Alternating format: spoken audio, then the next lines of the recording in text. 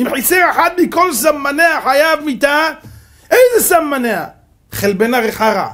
תוציא את החלבנה, יבוא כהן לבית המקדש, והוא כהן, אתם יודעים, יפה נפש כזה. הוא מהיפי נפש האלה.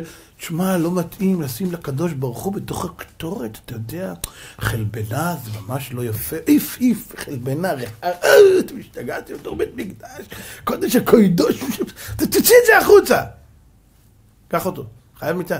מה? הוא רצה לעשות טוב, חייב מיטה, זה הקטורת. בתוך הקטורת יש חלבנה, הגמרא במסכת כריתות אומרת, דע לך. כל תענית ציבור שאין בה מפושעי ישראל אינה תענית. קח את התענית, זרוק לפח. למה?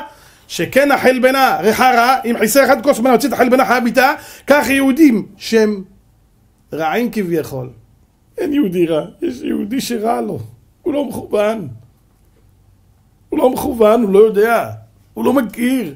והראיה כשהוא מכיר הוא נהיה יותר דתי מהדתיים. אז מה? חלבנה, רחוב רע.